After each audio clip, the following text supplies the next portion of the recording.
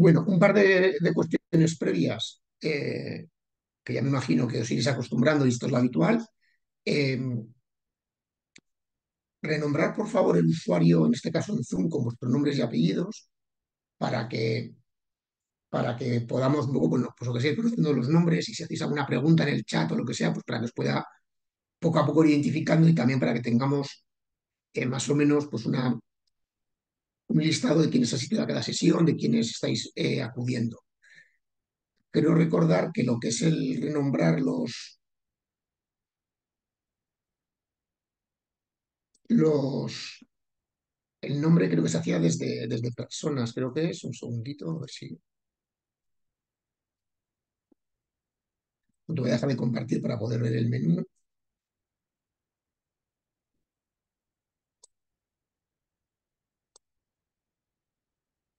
Yo creo que era desde participantes, creo que si tenéis alguna duda, bueno, veo que estáis casi todos con el nombre, pero bueno, alguno, alguien por ahí que no tiene el nombre, ya os digo, creo recordar que era desde los tres puntitos participantes y creo que podéis renombrar vuestro, vuestro usuario.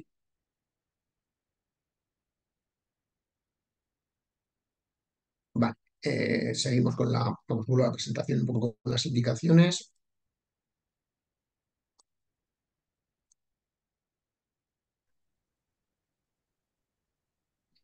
Sin iniciar el micrófono, porque bueno, si lo que hay algún ruido, yo, como también os puedo seleccionar, lo, lo cerraré por detrás para que no sea un monólogo ni mucho menos, podéis ir planteando dudas en el chat y cuando haya alguna duda yo intento, intento responderla, ¿vale? Para que no sea con micrófono abierto, que a veces es más lío o se mete algo de ruido por, de fondo. Y luego un tema importante para este itinerario formativo es que elijáis, por favor, o que tengáis en mente un proyecto que vuestra entidad ya esté ejecutando. Ese proyecto será sobre el que os iremos encargando entre sesiones las diferentes tareas y para que sea para vosotras más, más práctico el aprendizaje, sea más aplicado, conviene que sea sobre un proyecto eh, real que la entidad esté ejecutando. Insisto en que la entidad esté ejecutando porque si queremos a veces pensar en estas tareas o en estas prácticas que vamos a ir haciendo de formulación en un proyecto que la entidad aún no esté ejecutando, sino que sea un proyecto que tengáis en diseño, en prediseño, una idea que tengáis un poco entre comillas verde, en alguna de las tareas os vais a encontrar que os va a faltar información, os vais a encontrar eh, que no os va, que no vais a saber muy bien cómo continuar. Entonces, por eso es importante eh, que para las tareas elijáis un proyecto, un proyecto que a poder ser conozcáis bastante bien de cómo está funcionando. Es un proyecto que incluso si lo habéis formulado ya a un financiador y podéis tener pues esa, esa experiencia previa, aunque lo haya formulado otra persona de vuestra organización, pero que podéis acceder a, un formulario de solicitud para ver cómo se presentó y para ver cómo lo podríais ahora pues, ajustar, mejorar o, modificar, pues creo que es interesante. Que sean esos proyectos conocidos, proyectos donde la entidad tenga cierta experiencia y proyectos que hayan sido formulados a financiadores. Entonces convendría que ya poco a poco vayáis identificando uno en vuestra cabeza para luego eh, poder aplicar las, tareas que se encargarán tras la sesión de hoy y las siguientes semanas para que lo podáis aplicar a ese mismo a ese mismo proyecto.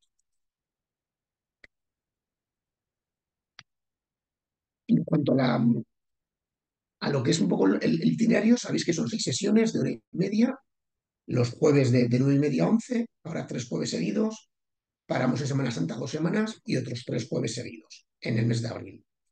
De las seis sesiones hay como tres bloques diferenciados. La primera sesión, la sesión que veremos hoy, donde vamos a trabajar en la, fase previa a la formulación, le iremos a trabajar en lo que tiene que ver con las bases de un financiador para analizarlas, para ver qué nos piden, para ver cómo podemos interpretarlas. Y por lo tanto, una vez que hemos interpretado esas bases hemos identificado las prioridades del financiador, elegir qué proyecto vamos a presentar. Luego tendremos cuatro sesiones, que es el bloque del itinerario formativo, que tiene que ver con cómo completar los campos del formulario de solicitud, que en general suelen utilizar las convocatorias, ya sean públicas o privadas. Pues ahí veremos los diferentes campos de la entidad, del proyecto, de presupuesto y de indicadores.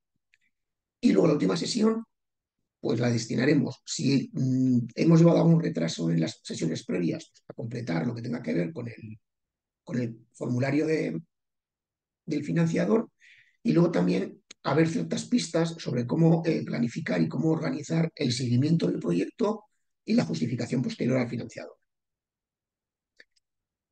Y si os parece, vamos a arrancar ya con la sesión de hoy. La sesión de hoy tiene una pequeña introducción sobre la diferencia entre diseño y formulación. Un primer bloque, como os decía, que tiene que ver con las bases de la convocatoria. Y un segundo bloque, que son los otros cuatro puntos, que tiene que ver con elegir el proyecto que vamos a presentar a una convocatoria concreta. Esto es una de las primeras eh, ideas que os quiero transmitir y que creo que es muy relevante y que seguro que muchas lo tenéis asumido y es que no podéis tener siempre una predeterminación de a, este, a esta convocatoria presento siempre este proyecto.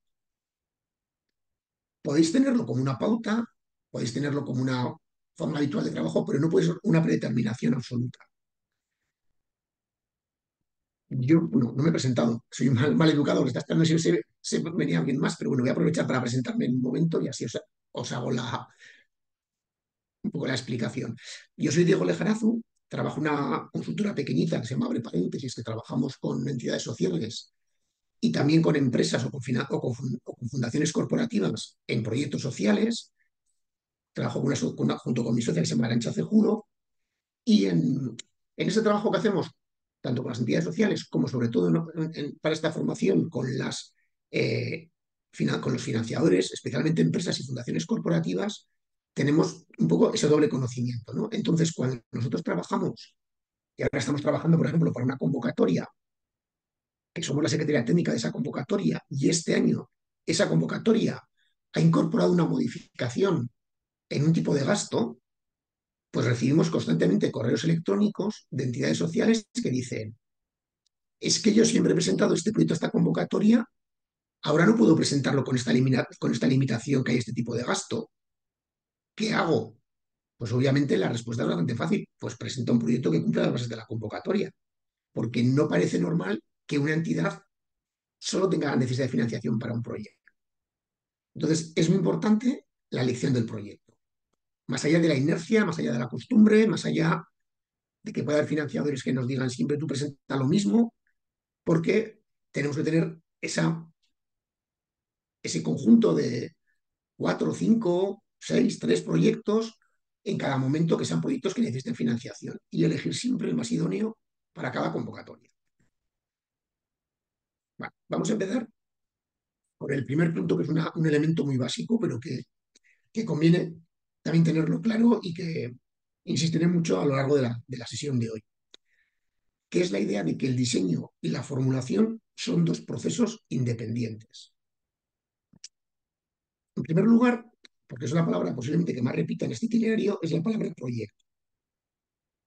En la formación vamos a utilizar, vamos a utilizar la palabra proyecto para cualquier intervención que responda a un problema, a una necesidad o incluso a una oportunidad para transformarlo para revertirlo, para llegar a un objetivo mediante la ejecución de una serie de actividades. Podemos hablar de proyectos de 2.500 euros y podemos hablar de proyectos de 2 millones y medio de euros. No vamos a diferenciar si, eso, si es un programa, un proyecto, una tarea, una actividad. Vamos a considerar siempre el proyecto bajo esta idea. Hay una necesidad, un problema, una realidad que queremos transformar para llegar a ese objetivo, a ese cambio, y para eso se tienen que ejecutar una serie de actividades que tienen que ir coordenadas. Una definición más formal de proyecto, pues una planificación de un conjunto de actividades articuladas entre sí, vinculadas, que tienen una serie de, que tienen una relación entre esas actividades con el fin de generar bienes o servicios para satisfacer una necesidad o resolver un problema, dentro de unos límites de plazo y presupuesto. Al final del, de la sesión de hoy volveremos al tema de los límites, de los límites de, del plazo y del presupuesto, que, que, son, que son importantes. La financiación o la formulación del proyecto es una parte de un, de un, ciclo que es más complejo, que es más largo y que todas lo tenéis en la cabeza. ¿no? Normalmente identificamos un problema, una necesidad o en ocasiones una oportunidad. En base a esa oportunidad o problema detectado, diseñamos un proyecto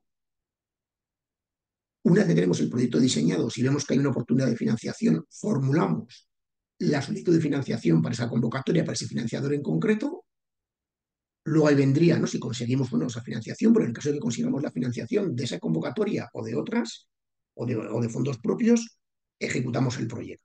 Y una vez que se ejecuta el proyecto, sabiendo que hay parte de la, del seguimiento que se hace durante la, durante la ejecución, luego viene la evaluación a nivel más interno de cómo ha ido el proyecto y la justificación para el financiado. Y esto de nuevo retrotrae, ¿no? retroalimenta el problema que habíamos detectado, cómo ha evolucionado para de poder de nuevo diseñar nuevos proyectos. La fase de diseño del proyecto es la fase en que nosotros, a nivel interno de la organización, en nuestra entidad, planificamos, esbozamos, detallamos, dependiendo del grado de, de concreción, cómo vamos a responder a esa necesidad que hemos detectado. ¿Cómo vamos a darle respuesta? ¿Con qué actividades? ¿Con qué solución? ¿Con qué metodología? Y eso es algo que es interno, que es propio de la organización. Y cuando tenemos ese diseño nosotros, elaborado por nosotros, y vemos una oportunidad, una oportunidad de financiación, es cuando pasamos a formular según las indicaciones del financiador potencial. Y es donde nuestro lenguaje, nuestro proyecto, tenemos que adaptarlo, tenemos que ajustarlo a esas características o a esas especificidades que tiene el, financiador. Pero siempre conviene que estos dos procesos estén claramente separados. Cuando en muchas ocasiones pasamos de tener identificado el problema, de tener intuida la solución o intuidas o esbozadas una serie de actividades, pero no diseñado el proyecto en su conjunto, y de repente se nos cruza una oportunidad de financiación y vamos directamente al formulario, normalmente esas formulaciones son flojas. Son flojas porque generalmente no hay tiempo suficiente, los plazos son breves, no teníamos todo preparado y entonces vamos muy justos. Por lo tanto, conviene que lo que es ese diseño del proyecto lo tengamos trabajado antes, para luego, una vez que tenga la, llegue el momento de la formulación, que tendremos pues, normalmente entre dos y cuatro semanas, dedicarnos a trabajar en ajustar el diseño del proyecto que tenemos claro en qué consiste, qué se va a ejecutar, a la extensión de los, en los campos propios de cada financiador. Nosotros con algún cliente que nos ha pedido algunas ocasiones nos dice, ¿nos ayudas a fundar este proyecto? Y les decimos, es que es imposible porque el proyecto no está diseñado. Tú tienes una idea en tu cabeza que a veces ocupa como mucho, una, no llega ni a media página, que es una idea de una persona, que es una idea de una organización, entonces está sin contrastar con otros compañeros y compañeras de si es viable, si no es viable, no hay nada claro en cuanto a los plazos, no hay nada claro en cuanto al resultado que se puede conseguir en 12 meses, que a veces es entonces, esta parte del diseño es, es, primordial haberla trabajado antes. El tiempo que hayamos dedicado al diseño nos va a facilitar muchísimo el tiempo que dediquemos luego a la, a la formulación. ¿Qué supone diseñar un proyecto? Normalmente la dinámica siempre es la misma, ¿no? Detectamos ese problema, necesidad, o por qué no, a veces oportunidad, y queremos transformarla. Visualizamos un impacto, visualizamos el resultado al que queremos llegar. Y a continuación diseñamos nuestra intervención. Por dejar una pincelada muy breve sobre diseño. Cuando nosotros partimos del problema y en vez de visualizar el objetivo, lo que estamos es visualizando las actividades, realmente no estamos diseñando un proyecto. Estamos generalmente eh, prolongando o facilitándonos la vida o facilitando una intervención que sabemos hacer, pero no estamos realmente eh, abordando un proyecto.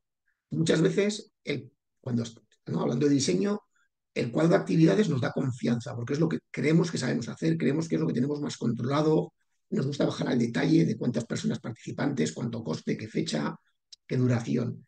Pero esas actividades, si no tienen una secuencia lógica, una relación causa-efecto que vayan a impactar en el objetivo previsto, muchas veces son actividades puramente rutinarias. Entonces, es importante que, vayamos siempre de la necesidad al objetivo y luego a las, actividades. Y si os dais cuenta, yo creo que en el 80, por no decir el 100% de los formularios de financiación, se sigue este modelo. Problema, necesidad, contexto, justificación, como lo queramos llamar, objetivo general específico, resultados esperados, depende del modelo, y después el cuadro de actividades. Y esa secuencia lógica que tienen los formularios de financiación, conviene que también la, la traslademos nosotros al diseño. Y obviamente habrá un aprendizaje fruto de la intervención y del impacto logrado. Hablando de formulación, ¿qué conviene transmitir en estos mismos pasos? sabéis que siempre tendremos una justificación ¿no? de la necesidad, del contexto. Obviamente es ese problema. Tendremos de nuevo ¿no? el impacto y nuestra intervención. ¿Qué tenemos que ser capaces de, de, trasladar al financiador y al evaluador del financiador en cada uno de, estas, de estos grandes bloques?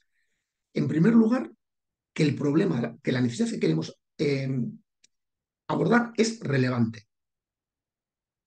Esto lo veremos, eh, creo que es dentro de un par de sesiones, pero es muy importante acreditar que el problema que queremos abordar es relevante y que es relevante para las personas beneficiarias, no para la organización o para los profesionales.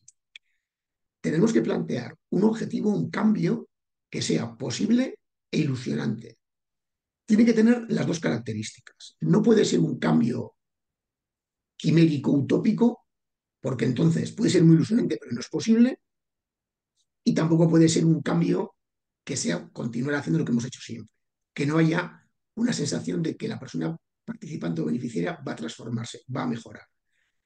Y siempre estos cambios, estos objetivos tienen que estar, de nuevo, recuerdo, ajustados al plazo de la convocatoria. Y que tenemos también que, que demostrar, justificar que somos capaces de hacerlo, que nuestra entidad está capacitada para llegar a ese cambio ilusionante. Lo dicho, para terminar este bloque, sin un buen diseño es imposible formularlo. El tiempo dedicado al diseño es tiempo invertido, no es tiempo perdido. ¿Qué sucede? Que a veces el dedicarle tiempo a diseñar un proyecto, si no tenemos encima de la mesa una convocatoria, mm, es importante, pero no es urgente. Y lo vamos posponiendo. Lo vamos dejando, lo vamos dejando, y al final ya llega esa convocatoria, nos pilla el toro y tenemos a todo correr que diseñar y formular Entonces es importante que trabajemos sobre todo en proyectos nuevos, en proyectos que tengan cierto grado de complejidad, que, perdón, que trabajemos antes el, diseño. Y eso como suele notarse mucho cuando el proyecto está, sobre todo en proyectos nuevos que no están bien diseñados, se nota mucho en la formulación, porque generalmente se vive esta sensación. Título potente, título bien planteado, por eso va en negrita, está, está bien trabajado.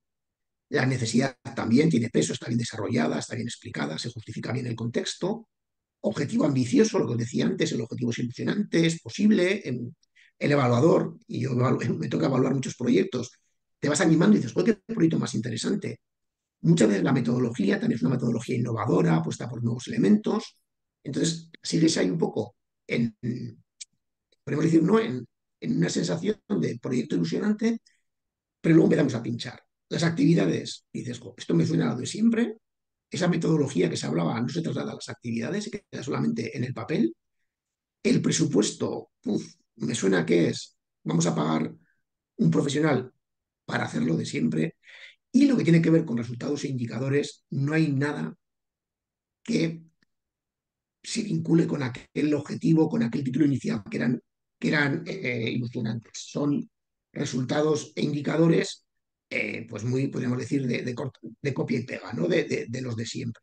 Entonces, un proyecto que esté bien diseñado va a ser capaz de transmitir eh, esa sensación en el evaluador de que es un proyecto consistente y que está bien estructurado que tiene capacidad de transformación.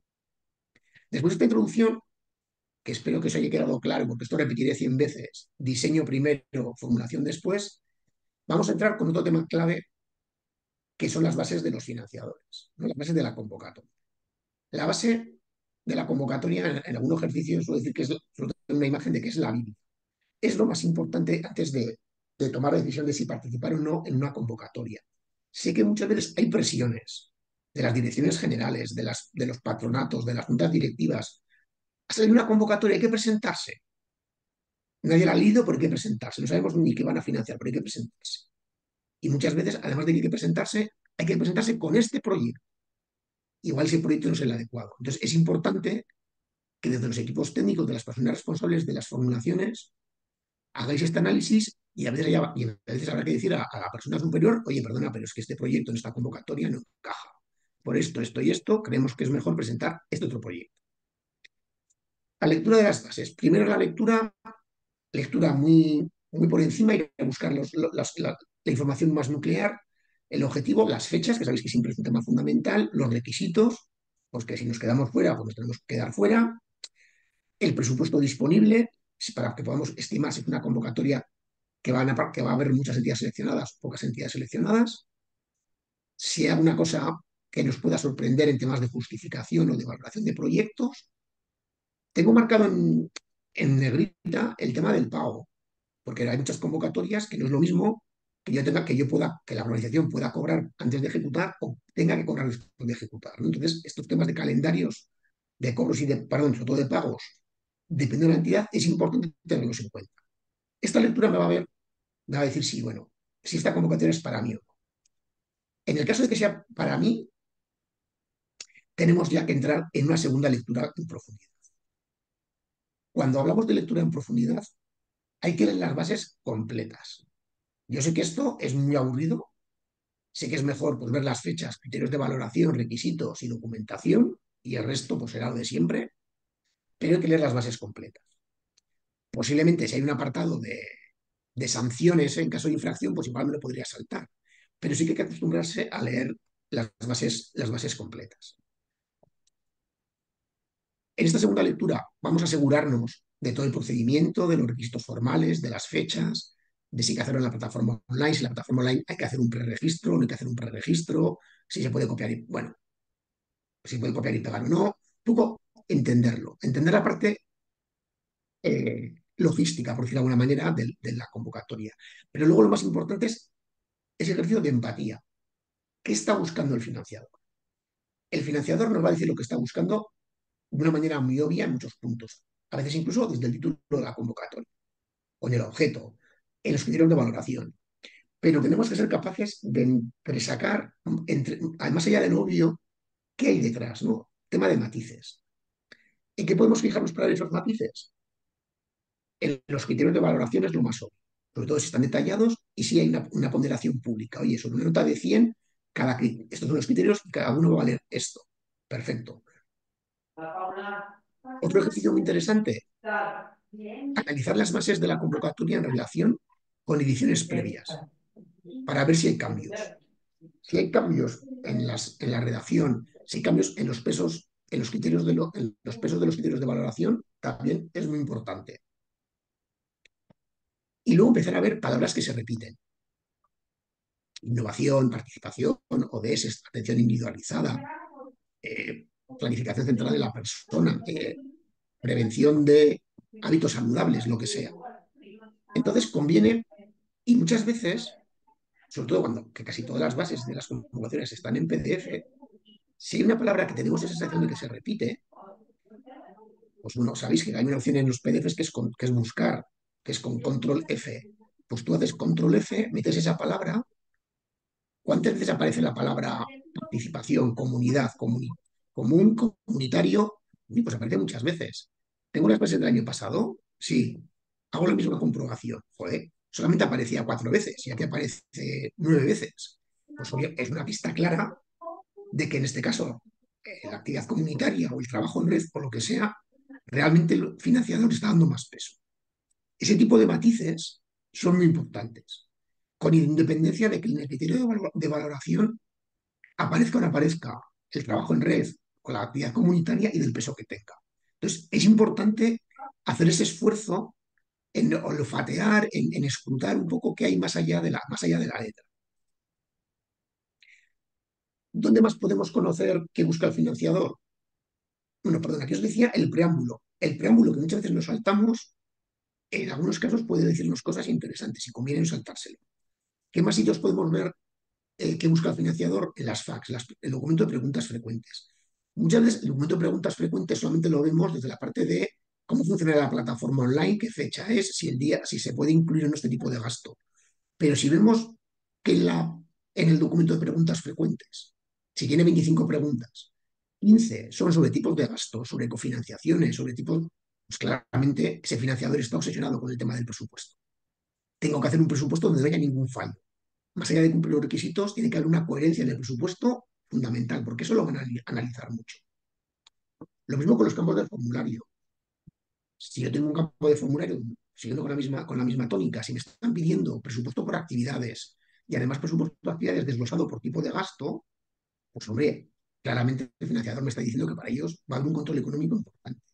O lo mismo si lo que me está pidiendo es una tabla de indicadores propia que tiene el financiador, con un desglose por edades, por, género, en el caso de empleo, por tipos de, inserciones, si son más o menos largas, cortas, indefinidas, parciales, temporales. Bueno, pues ese tipo de cosas nos está dando mucha pista de qué es lo que está buscando el financiador. Y por supuesto, ver qué proyectos han financiado en años anteriores y también ver la voz del financiador. En muchas ocasiones, los financiadores, porque a mí también me, toca estar en muchos jurados, eh, muchos de los financiadores, las bases dicen una cosa y luego la selección que realizan dice otra. Entonces, el ver qué proyectos financian y a qué entidades suelen financiar es importante. Si yo veo que es una convocatoria donde no hay ningún requisito más allá de tener, me invento, dos años de antigüedad, dices, hombre, pues casi casi cualquier entidad se puede presentar. Pero si resulta que cuando estoy viendo qué entidades se financian, siempre son entidades que tienen 30, 40 años. Por supuesto, están declaradas de utilidad pública. Tienen unos ingresos, pues yo qué sé, de 2, 3 millones de euros para arriba. Eh, la mayoría de ellas tienen el sello de Fundación Lealtad. Mm, todas tienen, por decir, son marcas conocidas, prestigiosas. Pues yo, si es una entidad pequeñita, formalmente me puedo presentar. Las bases no me, no me dejan fuera pero tengo que ser consciente de que igual no es mi liga. ¿De que puedo presentarme? Por supuesto, pero tengo que ser consciente de que lo que está diciendo las bases no es lo que luego el financiador está aplicando en su día a día. Y tendré que tenerlo en cuenta sobre todo para ver qué, tiempo le dedico a esa formulación. Ser realistas con nuestras posibilidades de éxito. ¿Dónde podemos intuir que busca el financiador? Pues, por ejemplo, hay muchas, sobre todo financiaciones privadas, que voy a ser muy, claro, lo que buscan es no tener problemas. ¿Y cómo entienden ellos que no tienen problemas? Financiando las entidades de siempre, a las entidades que llevan toda la vida en su, en su ciudad o en su provincia. ¿Cómo se nota? Pues eso, cuando exigen utilidad pública, exigen cuentas anuales auditadas. Vemos que si la, la valoración de los criterios es pública, la, valoración de la entidad es relativamente alta. Nos exigen planes de igualdad, de voluntariado, certificado de transparencia, códigos de buen gobierno, eh, planes de bueno, contabilidad, todos estos temas. Nos vemos que realmente lo que están buscando no es un gran proyecto, sino una entidad que no dé problemas. Hace poco me dio una convocatoria que era clarísimo, porque quiero recordar que tenía siete, ocho criterios de valoración, no tenía más, y todos menos uno se refería a la entidad. Todos eran de eh, transparencia, eh, confianza en la entidad, fiabilidad, trayectoria, base social, eh, solvencia económica, solvencia técnica del equipo. Es decir, el proyecto les da lo mismo, entre comillas. Lo que ellos buscan es no tener problemas. Buscan una entidad solvente, de confianza. Pues tendremos que ver si nosotros somos capaces de transmitir o no esa imagen. En el caso de que consideramos que sí que entramos en lo que ellos buscan, a la hora de formular, tendremos siempre que poner en valor esa confianza, esa solvencia de nuestra entidad, esa trayectoria. Lo que os decía antes, oye, obsesos del plano económico. Pues lo veréis en el porcentaje de cofinanciación, en los límites de tipo de gasto, en posiblemente pagos parciales, eh, tres, cuatro pagos o la convocatoria o pagos semestrales. Por supuesto, la justificación del presupuesto tiene que ser no solamente de lo concedido, sino del 100% del coste del proyecto. Eh, cantidad de indicaciones sobre cómo informar de las nuevas financiaciones obtenidas o cofinanciaciones. Eso lo, vais viendo. Entonces, lo mismo, ante un caso de este tipo, oye, con, con la, persona o el equipo de administración que haga los presupuestos, hay que sentarse a trabajar desde el minuto cero. Y hay que tener en cuenta que no vale el típico presupuesto de todo. Pues, vamos, vámonos a los límites de la convocatoria, vamos a apurar lo máximo, eh, ponemos todo, todo redondeado, 10.000, 8.000, 3.000 y, y luego de repente, pues la típica ocurrencia de mete dos ordenadores, mete 1.200 euros para dos ordenadores. Porque eso estáis, entre comillas, dinamitando vosotros mismos no la, la, la formulación. Al revés, proyectos que sí que buscan, perdón, convocatorias que buscan la calidad del proyecto, la consistencia, el valor diferencial del proyecto. Lo primero que podemos tenerlo claro, oye, ¿cuánto pesa los, los, criterios de valoración del proyecto sobre el total. ¿Qué información piden sobre las personas beneficiarias? Sobre su perfil, sobre su cuantificación, cuantificación por diferentes tipos. eh, descripciones. Lo mismo, el modelo de presentación de los resultados, ¿no? Si vemos que hay objetivos generales específicos, cada objetivo específico tiene que tener un resultado esperado, cada resultado esperado tiene que tener una o varias actividades, si, incluso si se baja ya a nivel de tarea, si se baja participantes en cada actividad, en cada tarea, si hay un cuadro eh, muy detallado pues de o bien objetivos específicos o bien resultados esperados con indicadores asociados, indicadores con unas metas eh, cuantitativas asociadas, una fuente de verificación de, esas, de esos indicadores. Bueno, pues ahí estamos viendo que es un proyecto donde la cuantificación, la parte, la parte cuantitativa es importante y es importante también el orden, ¿no? Es importante la estructura. Luego podemos ver otros proyectos que tengan más que ver con la, con la metodología, ¿no? Hay muchos proyectos que, te, dices, pues es que me están pidiendo la metodología, la teoría del programa, la lógica de intervención, el cambio deseado. Y muchas veces pues, digo, no, no, sé muy bien qué responder en cada campo, pero cuando vemos que hay varios campos destinados a metodología, innovación, procesos, pues de nuevo, estamos ante una convocatoria que va a cuidar mucho la consistencia del proyecto y su fiabilidad técnica. Pues tenemos que poner más, en ese caso tenemos que meter ahí más tiempo y más esfuerzo. La innovación, ¿no? Pues factores, aunque sean factores de, mejoras orgánicas, de mejoras de año a año, que también nos lo pidan. Bueno, pues esto nos... Obviamente todas las convocatorias tienen siempre un poco de todo, pero como la formulación tiene un tiempo limitado, tenemos que ver a qué campos y a qué contenido vamos a dedicar más tiempo. Entonces, es importante que, eh, que seamos capaces de hacer este análisis para luego calcular bien la dedicación de los tiempos. Y luego podemos tener eh, proyectos que son específicos, que son convocatorias, donde lo que se prima es más pues, el enfoque de género, el enfoque territorial, lo comunitario, el emprendimiento. Bueno, en ese caso, tenemos que ser muy conscientes antes de presentarnos de que nuestro proyecto tiene suficiente calado, suficiente impacto en género o o en impacto rural para podernos presentar. Hay veces que nos presentamos por presentarnos, pero lo mismo, si nos estamos presentando por presentarnos, pues ser capaces de medir el esfuerzo que tenemos que hacer, ¿no? Y luego, sobre todo en temas privados, muchas veces también vemos que se da mucha importancia a la difusión de la ayuda. Te piden un plan de comunicación, en las bases se especifica dónde hay que poner el logotipo, en qué tamaño, a quién hay que pedir permiso, los, los derechos de propiedad, a veces incluso en convocatorias que exigen la presencia en el acto de entrega de ayudas o convocatorias que obligan a destinar un porcentaje del presupuesto a grabar un vídeo o a una campaña de difusión. O...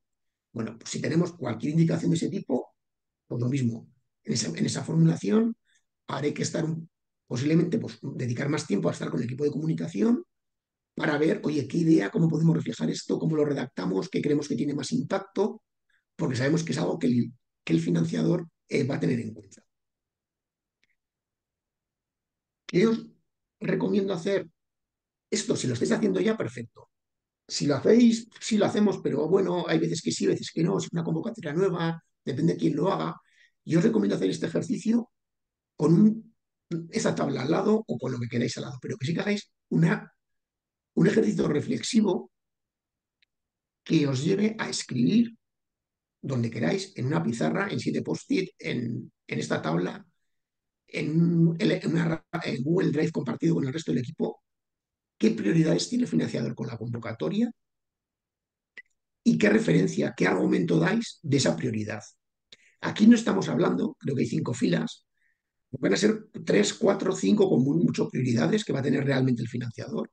No es copiar y pegar los criterios de evaluación o de valoración, es ir un paso más allá. Es, lo que os decía antes, es hurmear, es palpar, por ejemplo, oye, esta es una convocatoria que es que puntúa mucho solamente el derecho de presentarse. ¿Por qué? Pues porque la fórmula de reparto de los fondos dice que todas las entidades que se presenten van a recibir un tanto para empezar y luego, ah, vale, pues oye, si nos, nos podemos presentar, si cumplimos bases. Otro que también es muy común cada vez, cada vez pesa menos, bueno, pesa cada vez, pero es muy frecuente que en las, en las matrices de valoración que tienen las convocatorias, en los criterios de valoración, el peso de la entidad cada vez vaya bajando. Antes era muy común que fuese un 50-50, ahora cada vez se ven más 60 el proyecto, 40% la entidad. Si nosotros vemos que esta convocatoria en los últimos 3-4 años ha experimentado este salto, tenemos que tener en cuenta que ya no vale con ser, o sea, o que ya premia menos, es una organización consolidada, tenemos que tener en cuenta eh, mm, darle más valor y más peso al proyecto. Los ODS están muy de moda. Oye, pues es que vemos que aparecen el, que en, el preámbulo de la convocatoria hacen mención a los ODS, ¿vale? Y es que, joder, el logotipo de la convocatoria también mete los ODS. Y es que además aparecen en el preámbulo. Pues bueno, tendremos que trabajar un poco más los ODS, posiblemente habrá que mencionarlos en algún apartado que tenga que ver con la presentación de la entidad, o posiblemente si hay un campo para aportar un documento de la entidad, pues igual si tenemos algo sobre ODS, tengamos que elegir ese documento en vez de elegir otro. Lo más normal será que haya un campo en la descripción del proyecto de vínculo o de ODS relacionados, pues habrá que trabajarse un poco más, habrá que bajar un poco el grado de detalle, habrá que argumentar ese vínculo, o lo mismo, ¿no? Este, este último ejemplo es de una convocatoria que realizamos en una, en una formación el año pasado. Oye, es que la palabra concreta o sinónimas aparecían 17 veces en las bases. Y es que luego en el formulario, en cada palabra de ayuda de cada campo siempre aparecía objetiviza, concreta, identifica, especifica, ¿vale? Pues me está diciendo este financiador que no quiere rollos, que lo que quiere es que concretemos, que pongamos números, que no utilicemos el etcétera en los puntos suspensivos y actividades similares, porque eso nos va a estar restando puntos. Entonces, cuando me, me dice concreta, concreto. Y si no sé qué más poner, pongo un punto y se acabó. No pongo un punto suspensivo, o no pongo un y actividades similares, o se ajustará en función al desarrollo del proyecto. Vamos a concretar porque el financiador no quiere tener ningún tipo de duda sobre cómo se va a desarrollar el proyecto. Lo dicho, ¿no? Son percepciones, son percepciones, no solamente leer. Por ejemplo, esto que es un infierno, esto es una eh, fórmula de reparto de una convocatoria. Que esto tú lo, lo pasas y te lo saltas, porque no hay quien lo entienda, pero con un cliente que nos, que, no, que nos, puso un poco, nos propuso un poco el reto de intentar ver esta, esta fórmula, qué repercusión tenía en los fondos que obtenía, pues lo tenía, porque lo que este es un ejemplo que exponía antes, se tenía mucho en cuenta cuántas entidades se presentaban. Entonces, esta entidad que se había presentado de siempre, cada vez obtenía menos fondos, no porque su fuese, peor, sino que se presentaban más entidades y como el presupuesto no aumentaba, más entidades presentadas. Como hay un fijo siempre por presentarte, más a repartir, esta entidad cada vez tenía menos fondos. ¿Vale? Y este, esto es un, un preámbulo de, una, de unas bases de una convocatoria del Ministerio de Asuntos Sociales del año pasado. Os las voy a dejar proyectadas, nada, dos minutos, para que las vayáis leyendo y en el chat vayáis poniendo qué, más allá de lo que pone, o sea, no es copiar y pega, pero qué, os transmite, o sea, qué os transmiten estos tres párrafos, qué creéis que está buscando en este caso el Ministerio. Más allá de tecnología, obviamente, pero leéis por favor y en el chat vamos compartiendo qué, qué creéis que realmente está buscando financiar el, el ministerio con este tipo de, con esta convocatoria. Venga, os dejo dos minutos, me callo para que podáis hacerlo tranquilamente y lo vais compartiendo en el chat.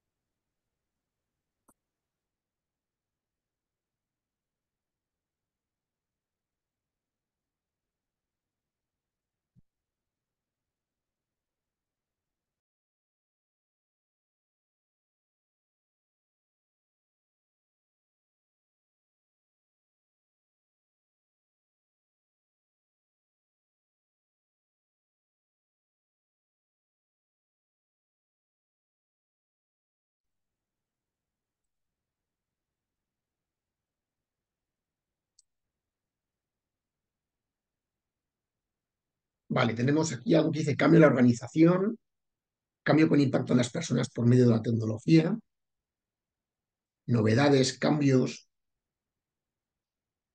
propuestas diferentes,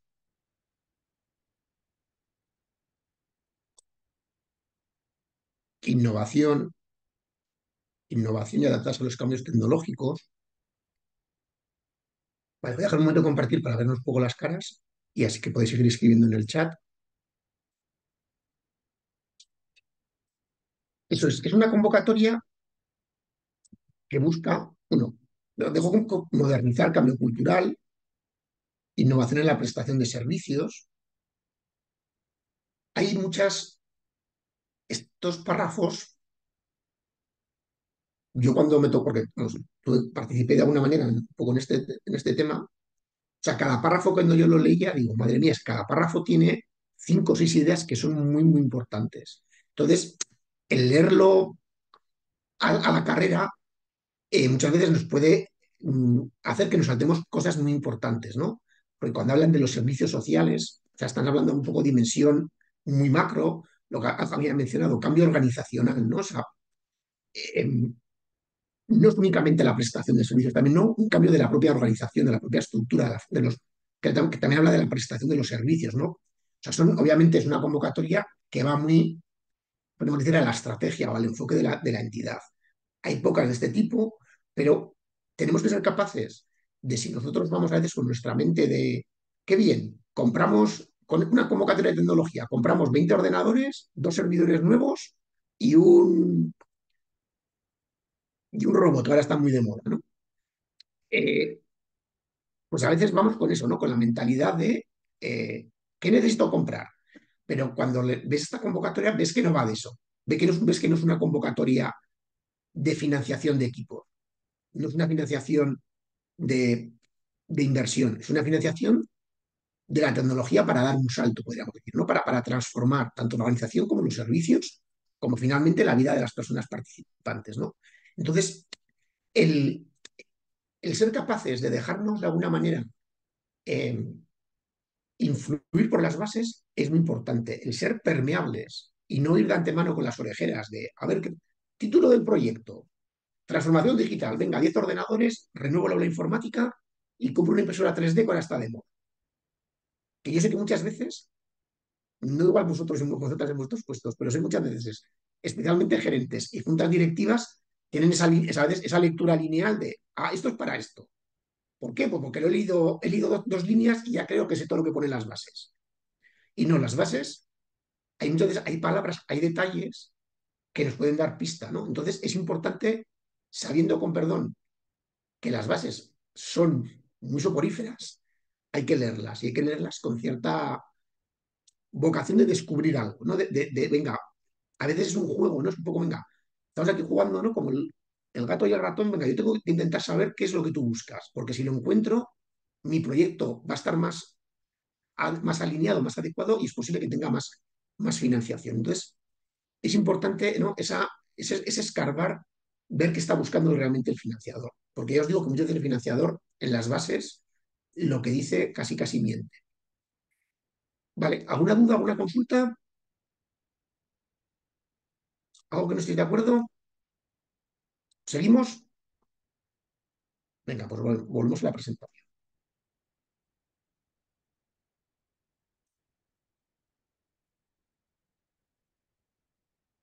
Aquí ya, habríamos visto lo que era un poco el primer bloque de la sesión de hoy, más allá de la introducción. Este ejercicio, que le hemos llamado ejercicio de empatía, ¿no? De, de qué busca el financiador.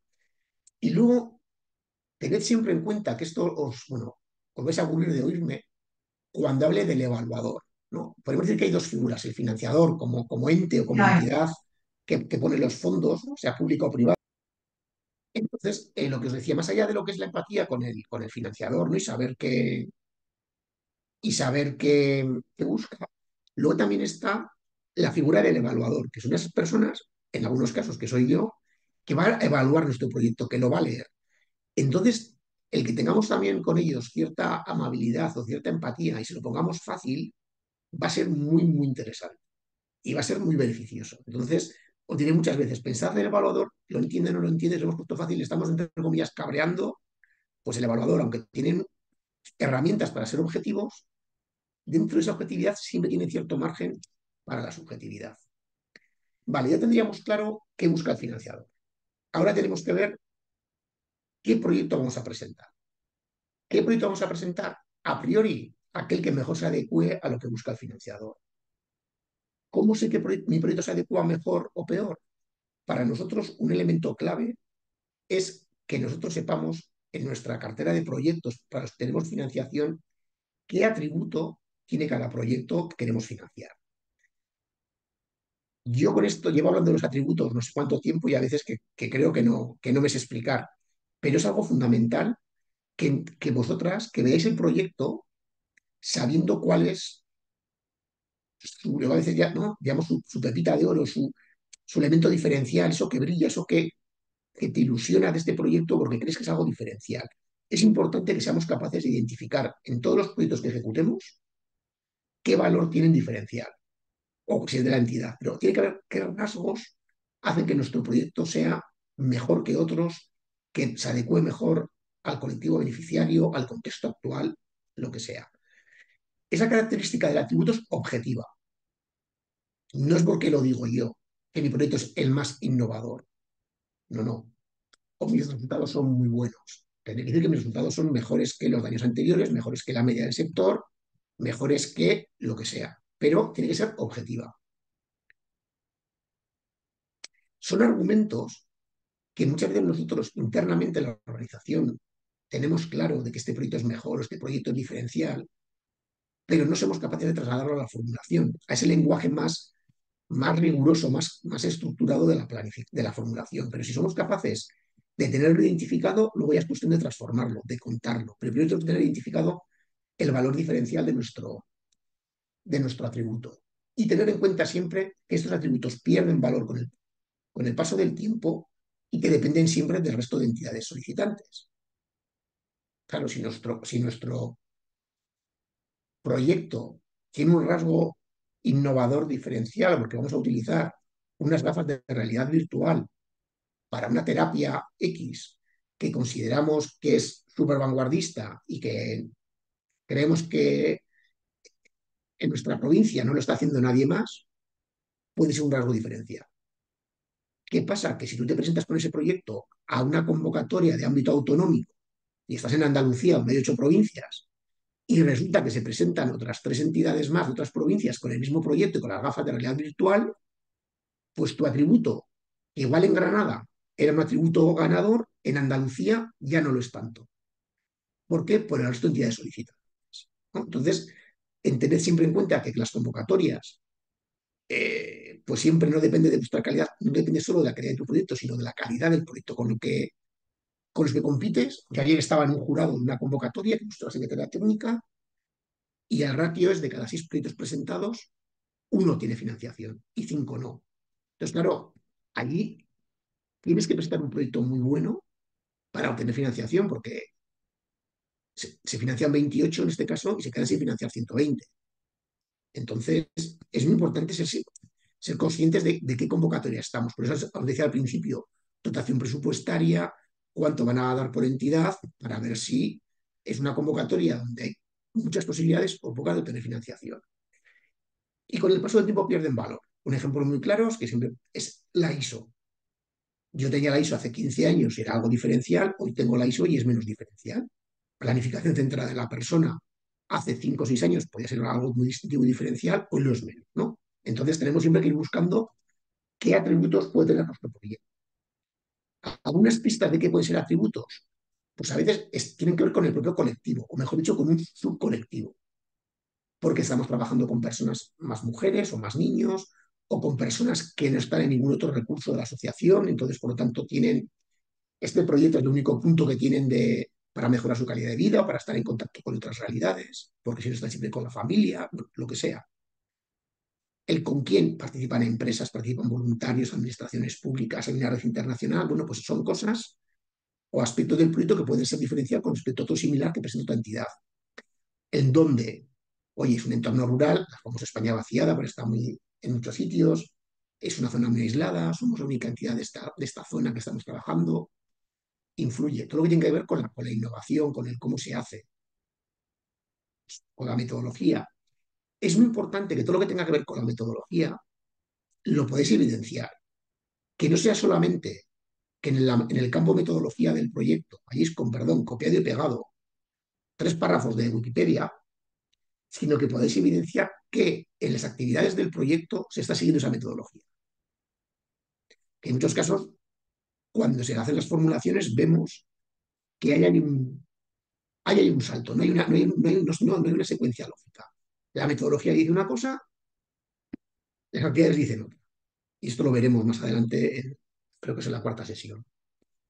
¿Qué otros cómo puede tener el, proyecto? Muchas veces hay proyectos que están dirigidos a un ámbito de intervención específico, pero que tiene otros impactos complementarios o adicionales.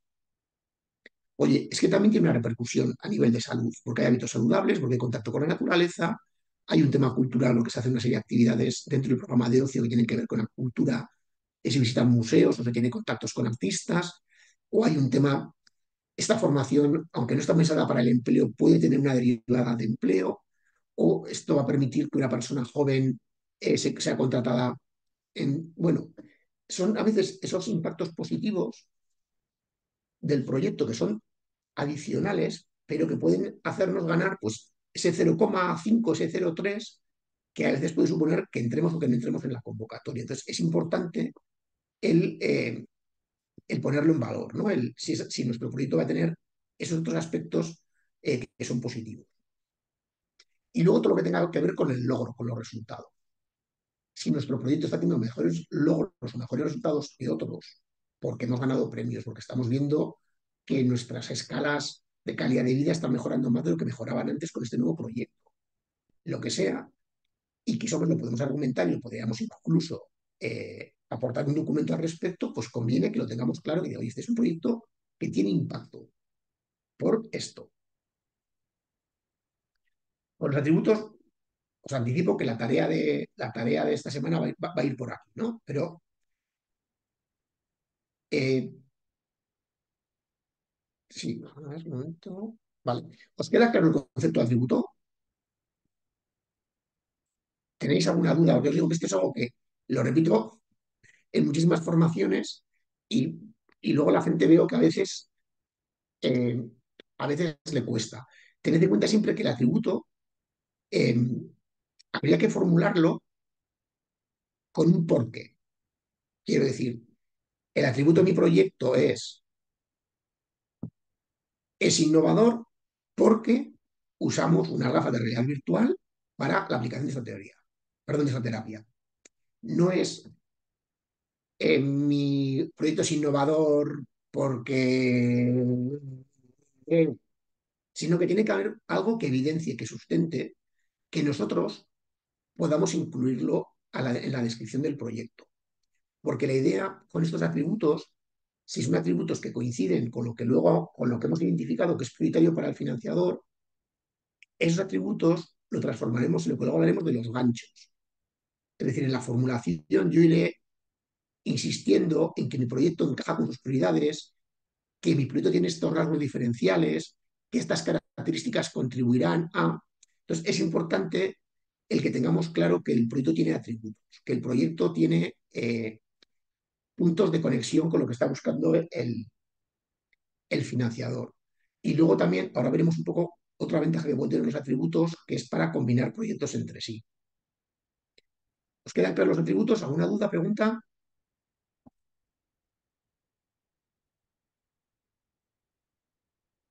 Pues digo, entonces, yo si no, ya es que yo me enrollo, vamos.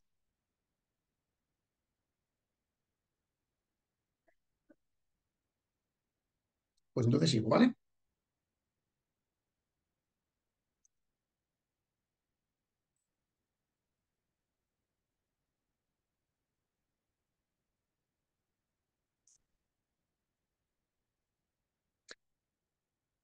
Bien. Aquí seguimos en la parte de elegir el proyecto. Una opción puede ser elegir el, proyecto en base a atributos. Vale, que ya viene en el chat. Vale, que puede ser un tema de semántica. ¿En qué consiste el atributo? El atributo es una característica, cada proyecto puede tener generalmente tres, cuatro atributos específicos. Son características diferenciales del proyecto. Si nosotros tuviésemos en la cartera que tenemos de proyectos de la propia entidad, ¿qué podríamos decir que es diferencial del proyecto de ocio? diferencial con respecto a lo que están haciendo otras entidades con el proyecto de ocio. Pues nuestro proyecto de ocio es diferencial porque realmente es un proyecto que se desarrolla en la comunidad, porque de las, me lo invento, de las siete propuestas que hay en el programa de ocio, cinco se desarrollan en la comunidad con personas sin discapacidad. Y estos objetivos, o sea, hay siete propuestas de actividades, cinco se hacen en la comunidad con personas sin discapacidad. Esto es algo que podemos, si esto, ha sido, si esto es así, esto es objetivo, lo podemos insistir en, el, en la formulación. Lo que no podemos hacer, y estos son ejemplos, bueno, que lo, veremos más adelante, pero yo estoy aburrido de leer proyectos que se dicen que son inclusivos y, son proyectos que se ejecutan en la sede de la entidad y donde solamente participan personas con discapacidad. Entonces, ¿dónde está la inclusión en ese proyecto? Entonces, los atributos pueden ser, ya digo, dos, tres atributos que tienen que suponer que vuestro proyecto sea algo diferencial al resto. Si yo tengo un proyecto, de nuevo, vuelvo a proyecto de ocio. Si yo tengo un proyecto de ocio en el que están participando 40 personas, pero de esas 40 personas, me lo invento, 15 tienen unas necesidades de apoyo muy intensivas y eso nos supone pues una serie de, de gastos adicionales en el transporte o en el acompañamiento o en la formación de los voluntarios o en cualquier otro aspecto, eso tenemos que trasladárselo al, financiador. Tenemos que hacerle ver que nuestro proyecto de ocio no es igual que el de otra entidad que tiene 40 personas, estamos hablando de, discapacidad intelectual, que tienen inteligencia límite. Porque eh, nuestros recursos de apoyo, nuestra planificación, nuestro de la interlocución con las familias es diferente al de otros proyectos. Sea, tened en cuenta que en el ámbito especialmente de discapacidad intelectual, que yo año, a año veo cientos de proyectos, los, hay proyectos que son prácticamente intercambiables. Empleo con apoyo, pues son todos, con perdón, un copia-pega. Entonces, tú tienes que ser capaz de poner en valor que tu proyecto de empleo con apoyo tiene un valor diferencial con el que tiene el proyecto de empleo con apoyo que va a presentar la entidad que está a 40 kilómetros de tu ciudad. Tú tienes que ser capaz de poner en valor, si es empleo con apoyo, de que, oye, tu tasa de inserción laboral final es algo mayor, o que tú tienes una red de empresas con la que tienes unos convenios que son reales y que al año estás intermediando, estás, o que tu modelo de, que tu modelo de apoyo en el puesto de trabajo eh, es un modelo que lo tienes estandarizado y que es un, y como mínimo son X horas durante el primer mes a la semana, durante el segundo mes, durante el tercer mes. Tú tienes que hacer ver que tu proyecto, y esto sé que, es, que las medidas sociales os cuesta mucho, es mejor que el de los demás. Porque si tú no lo haces ver, se lo estás dejando en la mano del evaluador. Y el evaluador, que esto también lo repetiría hasta la saciedad, normalmente todos los proyectos, todos partís con la máxima nota, la que sea, 100, 10, depende de la base. Y lo que normalmente el proyecto va perdiendo puntuación, porque hay inconsistencias, porque hay incongruencias, porque hay campos que están completados de copiar y pegar, porque hay cosas que no se entienden. Tú vas bajando, vas perdiendo puntos. Y a veces llegas ya al desastre o no. Pero si tú eres capaz en ese ir perdiendo puntos, de repente, el darme un atributo, el darme un gancho, el decir, no, pero es que eh, tenemos una, en apoyo, tenemos una red formada por 46 empresas, no por más de 50, no, son 46.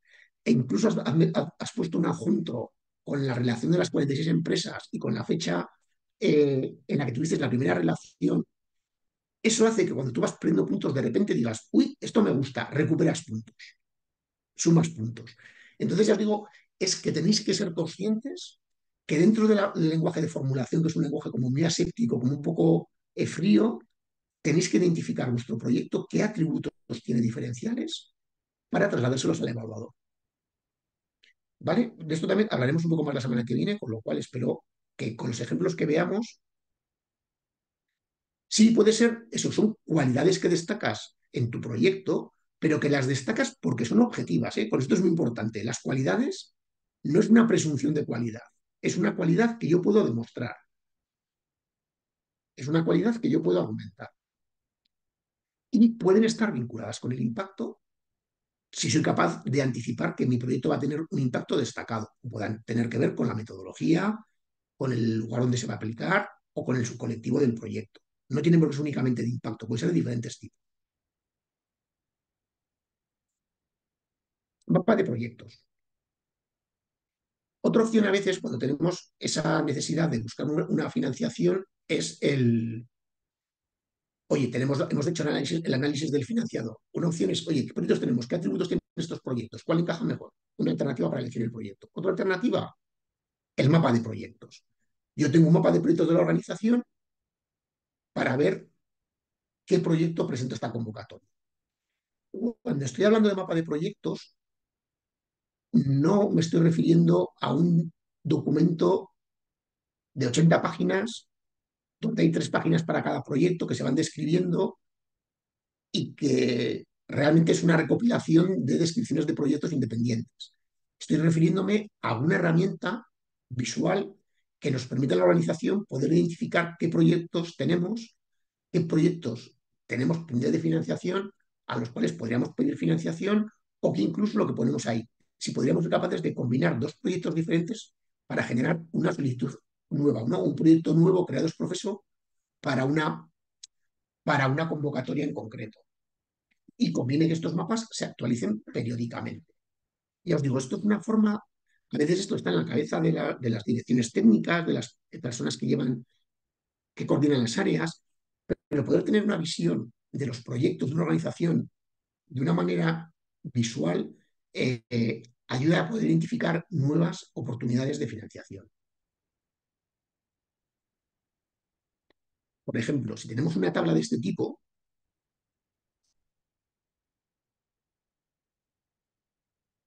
vale, no pasa nada, no se tiene que salir de la reunión. si tenemos una tabla de este tipo,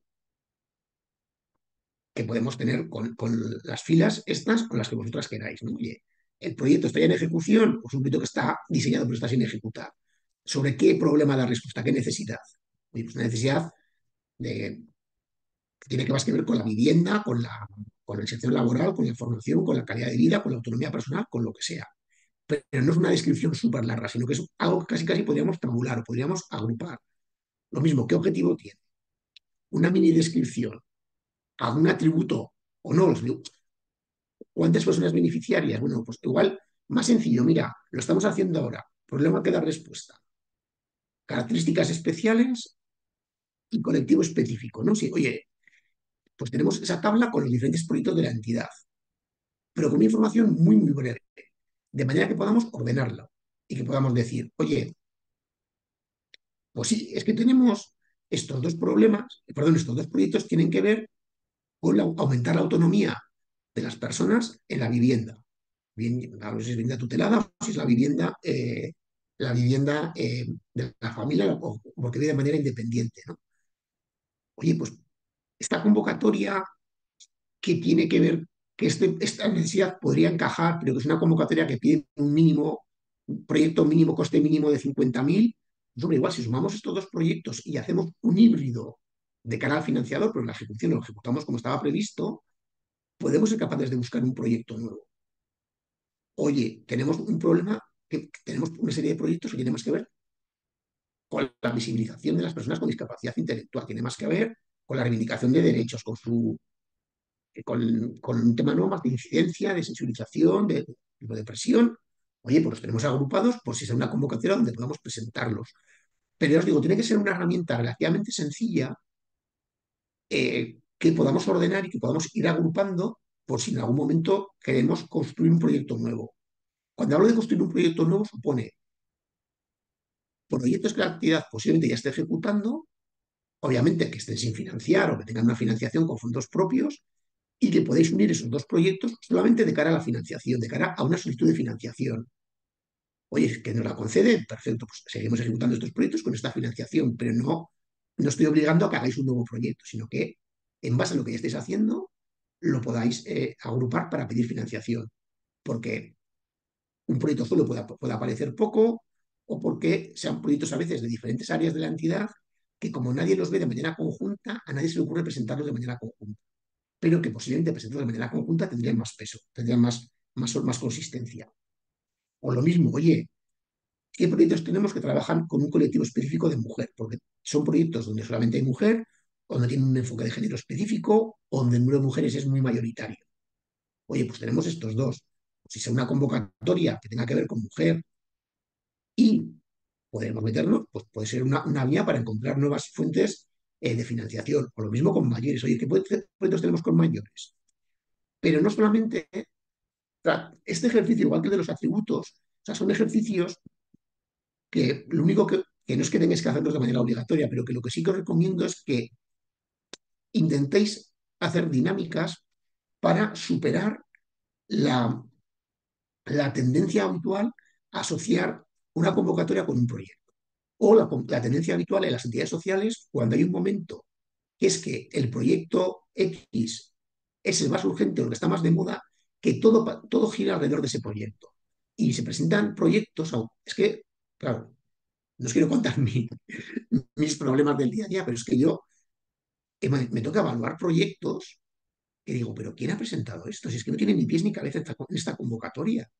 Y eso ha supuesto un trabajo en la entidad de formulación del proyecto que, con perdón, no se lo van a pagar, porque eso no se lo van a financiar nunca, y a mí, a mí me pagan, a mí me pagan igual por evaluar un proyecto bueno un proyecto malo.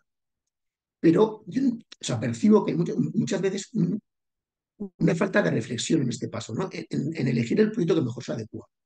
Y esto es, supone, cuando, cuando no se hace esa reflexión, es un trabajo que va a ser 100% improductivo y además a veces es un trabajo difícil porque estás intentando encajar un proyecto a martillazos en un formulario que es que no está hecho para él. Entonces, por eso, esta parte, esta segunda parte, tanto en los atributos como el mapa, lo que os intento es que vayáis viendo opciones para ser capaces de configurar candidaturas o solicitudes de financiación en base a lo que ya estéis haciendo en la entidad, sin crear proyectos nuevos, pero que os permitan presentar proyectos más adecuados a lo que busca el financiador. Otra forma de estructurar el mapa puede ser de esta manera, ¿no? Pues casi casi como el organigrama de la entidad, pero bueno, metiéndoles pues, una serie de niveles ¿no? que tengan que ver con, no igual con el proyecto concreto, pero es igual con ámbitos de actuación, con ámbitos de influencia. Y manera que, esto lo pintáis una vez y podáis entrelazar líneas de que eh, se puede conectar para generar nuevos proyectos, ¿no? Que se puede conectar. Y podemos, y lo mismo, y cuando tenemos proyectos para buscar financiación, conviene que tengamos los proyectos en diferentes niveles. No conviene que tengamos solo proyectos de 50.000 euros, o solo de 500.000, o solo de 3.000. Tiene que haber ciertos proyectos que se manejen, pues uno a nivel de programa, otro a nivel de entidad, un programa, lo que antes veíamos, y un tema más igual de sensibilización, perdón, un tema, un tema más de fortalecimiento institucional. Pues, otro más a nivel de tarea, ¿no? Esto es para un tema de unas salidas de ocio, bueno, porque pues posiblemente para una convocatoria de una empresa que van a votar los empleados y que son 5.000 euros, pues igual te vale con esto, para hacer un crowdfunding que sale una plataforma nueva. Bueno, pues, pero que tengáis esa diversidad de qué proyectos presentar. Otra opción también puede ser, uniendo estas dos anteriores, de los mapas y de los atributos, pues crear una conexión de proyectos en base a atributos. Y si yo tengo una serie de atributos eh, en mis proyectos que más o menos son son agrupables, porque el proyecto que es innovador o proyecto que tiene un impacto en el empleo, oye, proyecto que se desarrolla en la comunidad con eh, implicación de otros agentes, eh, proyectos que tienen resultados probados eh, por encima de la media. Bueno, pues de nuevo puedo ver si tengo dos proyectos que tienen impacto comunitario y como esta entidad y como esta convocatoria que sale, vemos que el tema de la, de la dimensión comunitaria lo valora mucho, pues creo.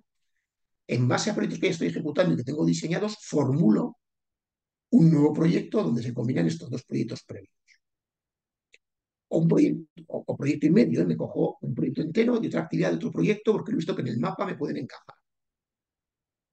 Es intentar, eso, intentar superar el concepto que tiene la entidad de proyecto, que a veces es un tema tremendamente lineal, para poder ser más flexibles y ajustarlo siempre a las prioridades del financiador y obviamente sin obligados a ejecutar actividades nuevas, porque si ejecutas actividades nuevas, la financiación va a esas actividades y la entidad sigue a veces estando con problemas de que es que no acaba de financiarse, ¿no?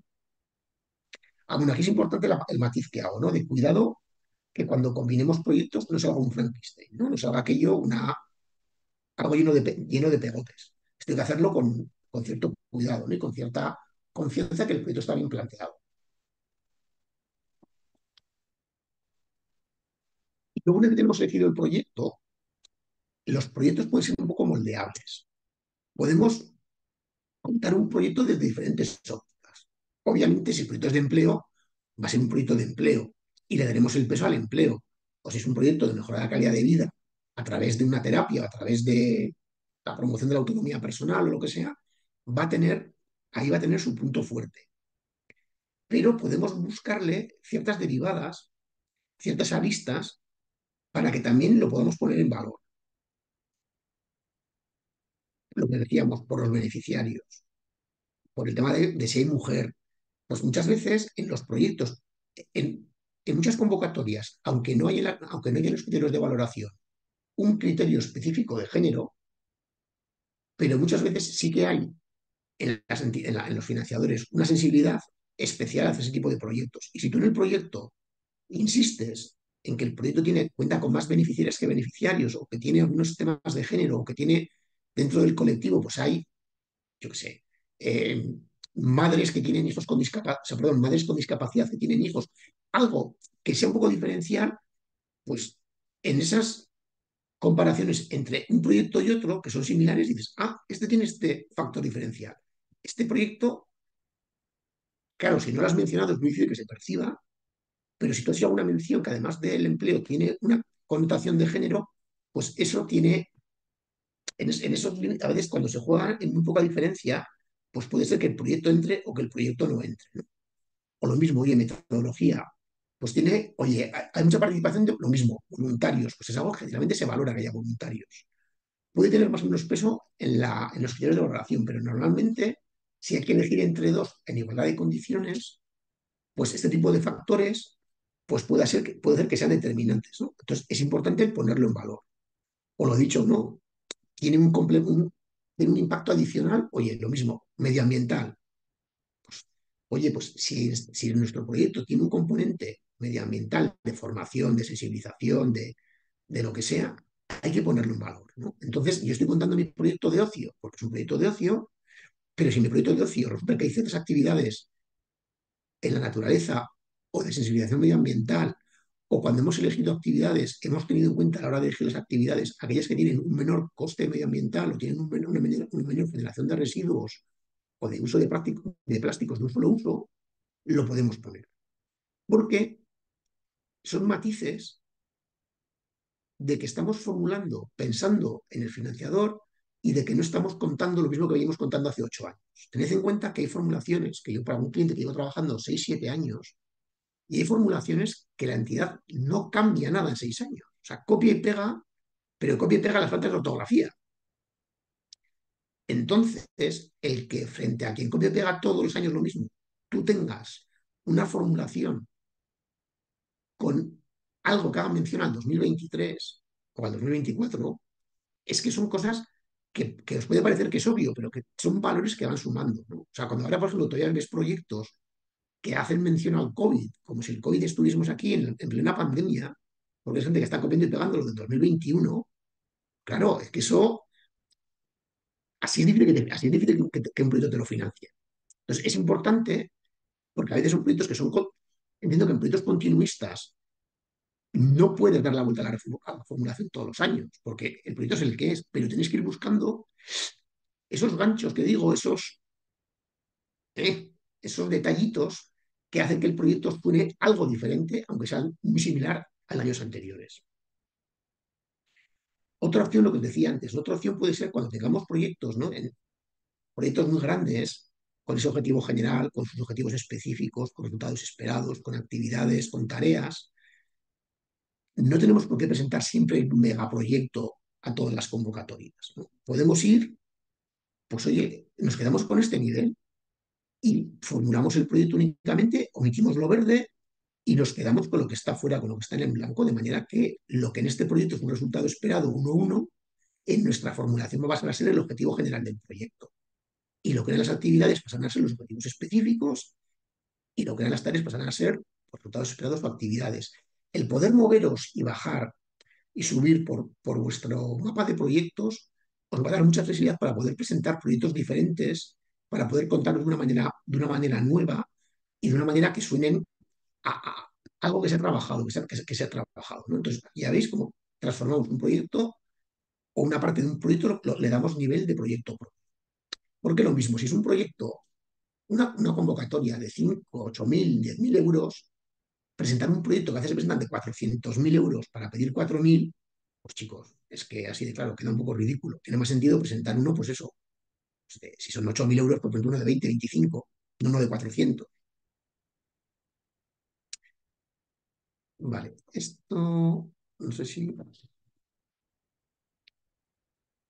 Venga, vamos a dedicar estos cinco minutitos y ya terminamos enseguida.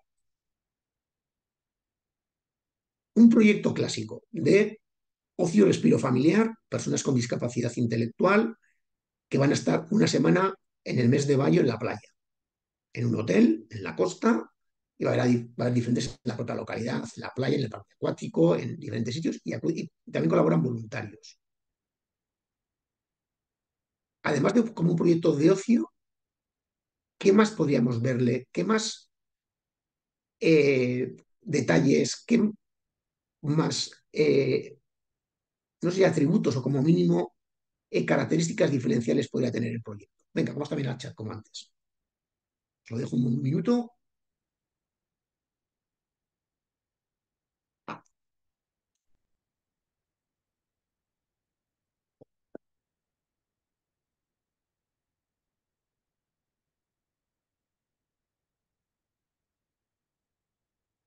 Está, mira, me está gustando cómo estáis respondiendo. Cursos comunitarios. Me gusta el tema de salud emocional y física. Este caso, que es un poco ya irnos, separarnos un pelín más de la actividad, aquí esto, si, apelamos a este, a este atributo o a este, a este impacto adicional de la salud emocional y física, convendría que lo hicieseis explícito. Oye, esto porque hemos contrastado, porque hay un estudio, porque sabemos, porque la experiencia de nuestros, o bien de, la, o bien de las familias, o bien de las personas participantes cuando vuelven, porque nos dicen sus padres, nos dicen las familias, que cuando han vuelto están mucho más tranquilos, que tal, ese tipo de cosas hay que ponerlo en valor activación de la economía local fuera de temporada, muy bueno. Eso también es otro. Estábamos padre de lo de mayo, veo que me habéis pillado muy bien. Crear red con alguna entidad, lo mismo. Si, oye, vamos, como llevamos yendo siempre varios meses, pues tenemos aquí eh, personas con las que ya conocemos, los voluntarios en discapacidad, la comunidad, autonomía personal. Eso trabajo con las entidades de la zona, variado. Ese tipo de cosas, lo que tenéis que hacer es ponérselo fácil al evaluador. O sea, que no tenga que él suponer que si va a ser en mayo o que si va a ser en el parque acuático conviviréis con personas, pues ese tipo de cosas conviene que, que lo hagáis explícito. Eh, recuerdo en, en, un taller que dábamos, salía un proyecto parecido, vamos, ponemos un ejemplo parecido ¿no? de, de temas de ocio y decía, decía una persona, creo, que también, o era una formación para entidades de cualquier colectivo, pero creo que también una persona con una persona digamos, sin discapacidad, decía que ellos habían decidido que consideraban que lo apreciaban muchísimo, por ejemplo, las personas eh, participantes, el poder elegir con quién dormir. Oye, vamos a un hotel para ver habitaciones dobles, haced parejas de quiénes queréis dormir con quién. Entonces, que, para, que y nos decía que para las personas en aquel caso que habían participado, solamente el poder elegir con quién dormir le suponía una experiencia que para nosotros es algo como que es muy obvio, pero que para ellos suponía una experiencia eh, diferencial. Entonces, ese tipo de detalles, a veces conviene que, que ya veis que es un detalle, ¿no? El de con quién voy a dormir es algo como un poco anecdótico y como muy cualitativo, tiene a veces poco que ver con la formulación rigurosa que veíamos, ¿no? Del objetivo general, el específico, resultado esperado, pero ese tipo de cositas, de detalles, esas, eh, ¿no? esas medidas que vamos dejando, hacen que el evaluador empatice con el proyecto. Tiene que haber siempre esa combinación un poco entre, perdón, un poco ¿no? entre, entre relato y, y, y, dato y un poco de emoción. Salir de la zona de confort, perfecto. Puede haber un ocio cultural. Y os digo, pero este tipo de cosas tenéis que entrar, o sea, yo os digo, la idea que, os quiero trasladar es que seáis vosotros quienes lo, quienes lo plasmesen la formulación de manera explícita, que no tenga que estar yo como evaluador sospechando que y este prototipo puede tener algo mejor porque tiene esto que no tiene otro de ocio. Y acabamos con nada. Esto son, pues bueno, tendríamos, o sea, teníamos claro ¿no? en el primer bloque que busca el financiador. Hemos estado trabajando por ver qué proyecto vamos a presentar, que vendría un poco pues, de los atributos, de la herramienta que hemos utilizado para eh, seleccionar un proyecto o para superar esa inercia del proyecto que viene por defecto, pues eso lo tenemos que cuadrar con lo que era el, con lo que era el- las prioridades del financiador, para ver qué cuadra, ¿no? Para ver que, que las dos coinciden.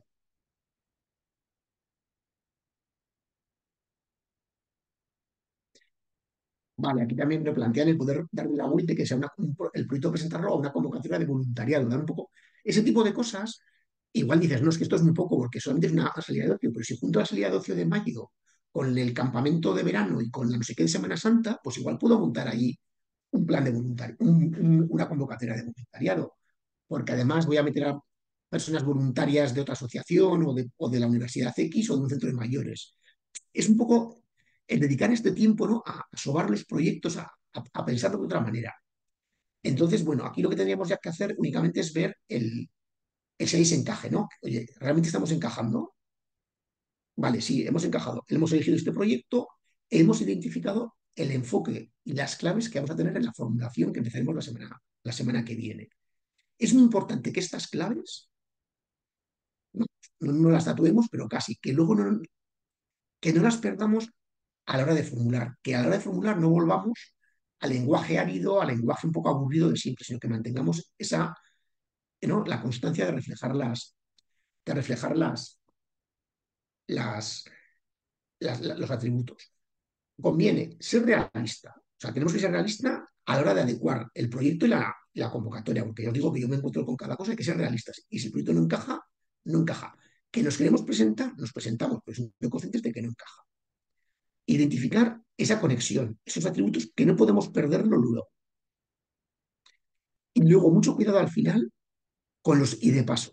Y de paso mete dos ordenadores. Esto ha sido, ahora ya menos, pero esto ha sido muy habitual. Metemos dos ordenadores porque, o de paso mete una actividad de comunicación y así imputamos el 20% de la persona de comunicación. Eso canta la traviata y se nota un mogollón. Generalmente es la última actividad del proyecto, no tiene nada que ver con los objetivos específicos y luego vas al presupuesto y, y vamos. Ya os digo que yo que también he trabajado en entidades sociales y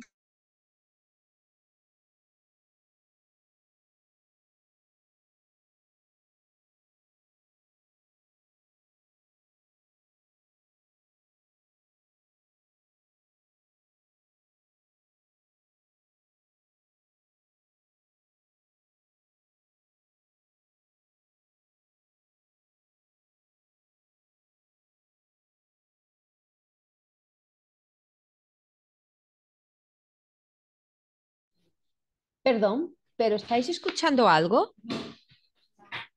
Vale, ok, que de repente me he asustado. Buen.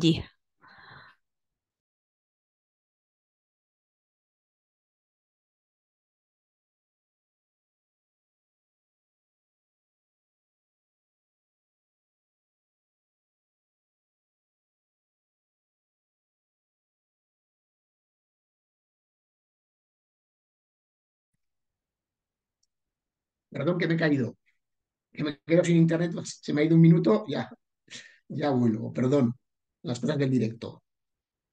Vale, sigo con la presentación,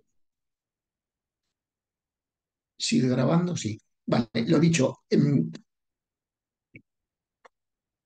esto sería un poco cuando ya tenemos claro el proyecto, oye, primera columna que hemos identificado, prioridades del financiador son estas prioridades. ¿La cumplo con mi proyecto? Sí, no, eh, un poco sí, un poco no.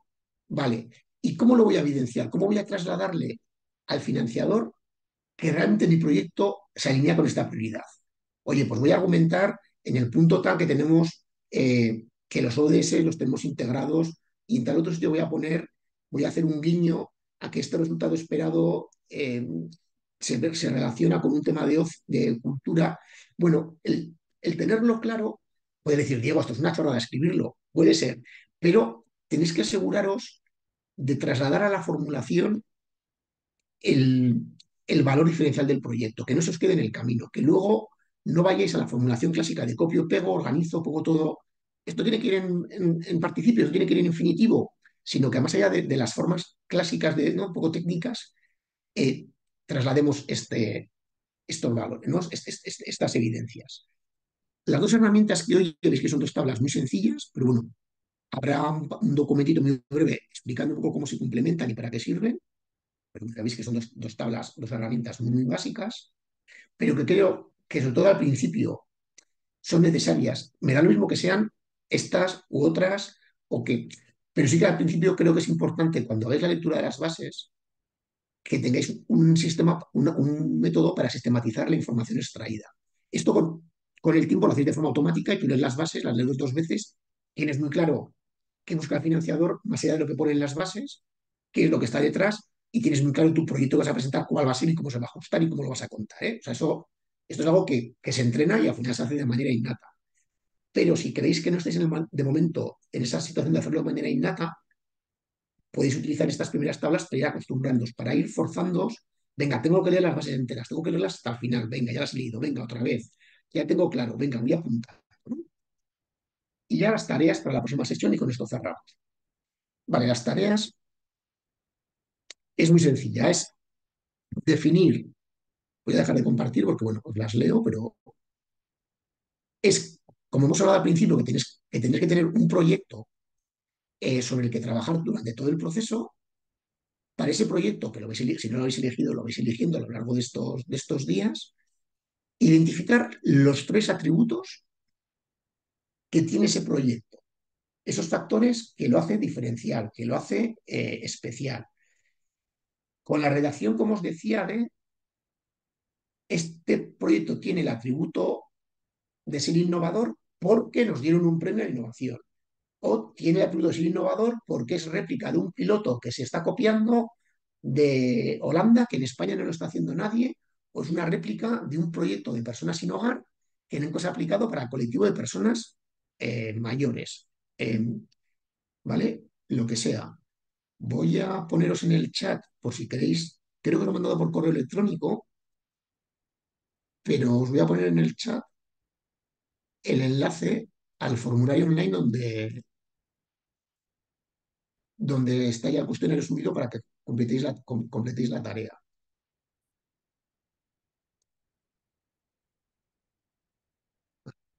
Segundo. En el correo de la inscripción, cuando nos enviaron el Sí, correo, os lo enviaron ya, ¿no? el enlace. Pero bueno, por si alguien el correo no lo tiene localizado, tengo aquí el enlace, no, que, joder, que no veo yo el ancho.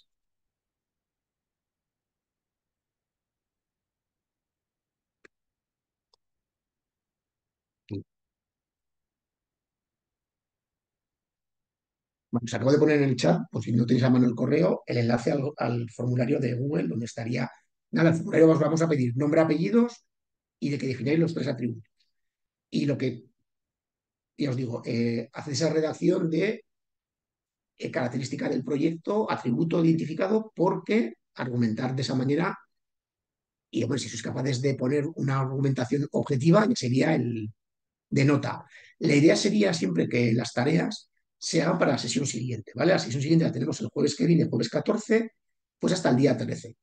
Porque normalmente en las sesiones siguientes, la primera parte arrancaremos con dos, tres ejemplos de lo que hayáis subido a las tareas para compartir. Oye, pues hemos visto este atributo que está muy bien identificado, enhorabuena que lo haya hecho, o al revés, hemos visto que hay varios atributos que se parecen así, que tienen, comparten esto, pero aquí faltaría un poco para que tengáis, no, obviamente no podemos daros un feedback, feedback a cada uno individualizado, pero sí que daremos unas pistas de lo que hayáis compartido para que os sirva un poco para que os resuene lo que se trabajó en la sesión anterior y para que podáis, podáis ir eh, actualizando y, y- y incorporando esas- esos aprendizajes. ¿Dudas, preguntas, críticas, sugerencias, lo que os parezca? Perdona, estoy viendo, disculpad, estoy viendo el formulario que compartes y habla de los atributos, pero ¿sobre qué proyecto en concreto? No sé si me he perdido algo. Sobre que vosotras, lo, lo que os he hecho al principio de la sesión, tenéis que elegir un proyecto Vale. vuestro, de vuestra entidad, que estéis ya ejecutando y que lo tengáis conocido y que, y que lo hayáis formulado para que lo tengáis como un proyecto de referencia, que Vale. será el proyecto que vais a usar durante todo el itinerario, durante las seis sesiones. Ah, vale, Porque perdón, sí. me incorporé tarde y no lo Ah, veo. vale, perdona, pues entonces igual ha sido, pues no pasa nada, Nuria. Pero os digo, la idea sería que cada persona tengáis un proyecto de la entidad, iros a proyectos cómodos, entre comillas, es decir, que sean proyectos que, conozcáis, que no sea el área de empleo o el área de viviendas, que digas esto, no, un proyecto acotado, que sepáis manejar, que sepáis cuáles son sus claves de funcionamiento, el perfil de las personas beneficiarias, actividades principales, porque todas las, todas las sesiones, siempre la tarea que se os va, se va a encomendar entre, entre, tarea entre sesión y sesión, siempre va a estar vinculada con ese proyecto. Oye, pues formula un campo de ese proyecto, formula dos campos, eh, actividades, de manera que primero nosotros podamos un poco ver eh, cómo vais evolucionando sobre ese proyecto y también vosotras tengáis un aprendizaje más, más práctico, más aplicado para vuestro día a día. Perfecto. Conviene que sean esos proyectos reales que estén en ejecución, porque si veis a proyectos que tengáis diseñados o en mente, os va a faltar información, entonces vais a ir un poco que una semana me dijo, no me da tiempo a... Entonces, os digo, es mejor que vayáis a un proyecto que tengáis ya eh, en ejecución y que aún hayáis incluso formulado para que os sea más, más, más familiar. Entonces, cada uno a vuestro proyecto, a vuestra cabeza, lo vais. Y bueno, poco a poco, como lo iremos compartiendo cosas, iremos también descubriendo de qué proyecto estamos hablando. Muchas gracias. ¿Alguna cosita más? ¿Alguna duda? ¿Comentario, sugerencia, crítica? Oye, pues nada, son las 11 y 5 y si os parece, por respetar horarios y por como imagino que todos y todas tenéis que seguir trabajando y tendréis muchas cosas encima de la mesa, pues nada, hecho que ha sido un placer y nada, seguimos viéndonos y nos vemos el jueves que viene. ¿Vale? Oye, pues nada, lo dicho, encantado y estamos en contacto. Hasta la próxima.